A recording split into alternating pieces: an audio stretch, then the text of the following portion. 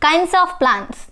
Plants are many kinds, some are very small, some are very big, some are very tall, and some are very short. Plants can be divided mainly into five kinds trees, shrubs,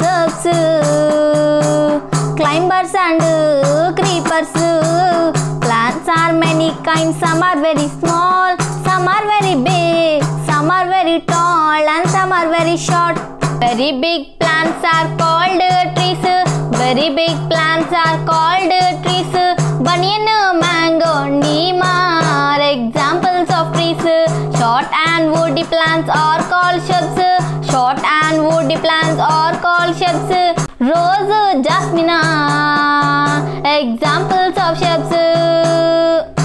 Plants are many kinds, some are very small, some are very big, some are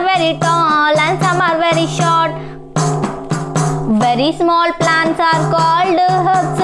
Very small plants are called herbs. Grass, tomato, marigold are examples of herbs. Pea plant, grapevine are called climbers. Tree plant, grapevine are called climbers. Cucumber, pumpkin are examples of creepers.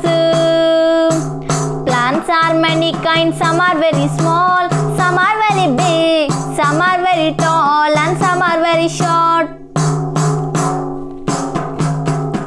Coconut, papaya are branchless trees. Coconut, papaya are branchless trees. Lemon, cactus are thorny plants. Most of the leaves are green in color. Most of the leaves are green in color.